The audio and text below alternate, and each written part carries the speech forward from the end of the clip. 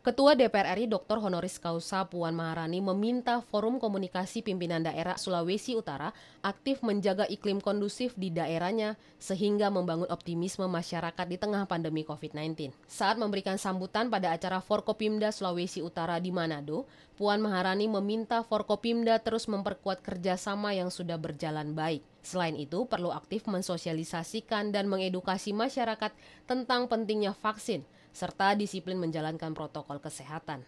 Puan mengapresiasi Sulawesi Utara menjadi provinsi kelima terbaik dalam pertumbuhan ekonomi.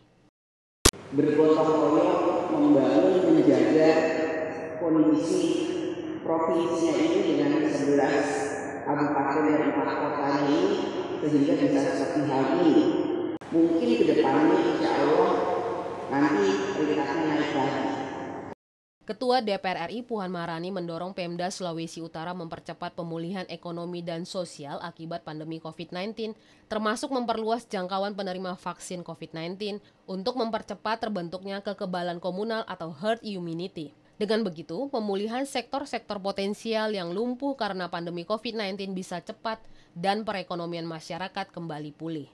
Kita akan dorong bahwa vaksin di Sulawesi Utara ini harus segera dipercepat dan sehingga, dan sehingga dengan dipercepatnya pemberian vaksin akan memberikan dampak yang signifikan di faktor pariwisata. Dari data yang disusun, 109.686 warga di Sulawesi Utara sudah menerima vaksinasi COVID-19. Tim Liputan TVR Parlemen melaporkan.